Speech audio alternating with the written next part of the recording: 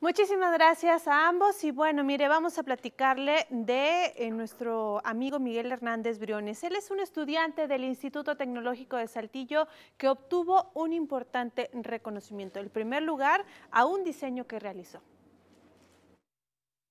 Miguel Alejandro Hernández Briones, estudiante de la Ingeniería en Materiales en el Instituto Tecnológico de Saltillo, ganó el concurso de diseño de un logotipo para la Steel Funders Society of America, en el que participaron 30 universidades, tanto de México como de Estados Unidos, lo que le mereció un reconocimiento público por parte de la asociación. El requisito principal era una imagen, un logo que fuera representativo de la, de la asociación en este caso es la Sociedad Americana de Fundidores de Acero.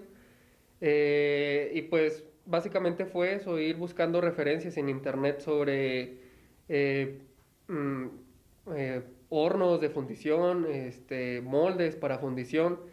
Y ya a partir de eso, este, pues se toma esa referencia y a partir de ahí ya voy sacando este, los elementos que debe tener una fundición de acero. Por el joven que cursa el octavo semestre comentó que la clave para obtener el primer lugar es comprender el proceso de fundición en su totalidad para poder plasmarlo en un logotipo que realizó en el programa Photoshop en un tiempo promedio de dos horas y media. Yo creo que necesitas ver realmente tú viendo un material fundido, en este caso el acero, para poder representar o emitir este también esa, esa sensación, por ejemplo, de lo que es ver el, acero fundido o el metal líquido dentro, dentro del molde. Ahora junto con otros dos compañeros, Miguel intentará hacerse de un nuevo logro, pues el concurso para crear un martillo de acero está en marcha y él junto a su equipo participa para poner en alto el nombre del Instituto Tecnológico de Saltillo. Imágenes Esteban Valdés, Carlos Rodríguez, en Telezócalo.